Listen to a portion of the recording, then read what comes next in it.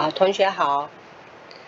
这里的题目呢是这样啊，要分两个阶段。我们已经做过类似的题型，已经做很多次了。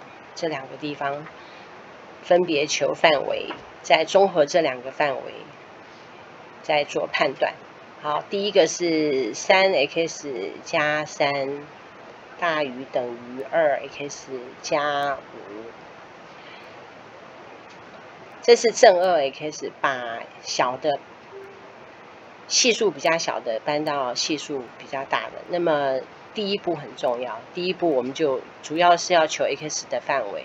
但我也不晓得我这样做对还是不对啊，就是自己养成什么样的习惯，哦，你就自己掂量着。好，然后我们这里就写三 x 减掉二 x。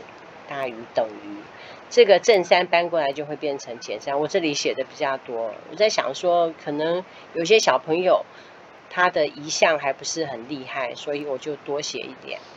好，这个地方呢是二 x 加五大于等于 x 加九一样，我们把这个 x 搬到左边，这个五呢搬到右边，就会形成二 x 减 x 大于等于。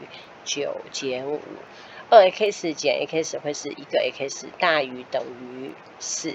好，我们来看一下范围，一个是二，一个是四，都是实心的，实心的。x 要大于二，，x 呢也要大于等于四。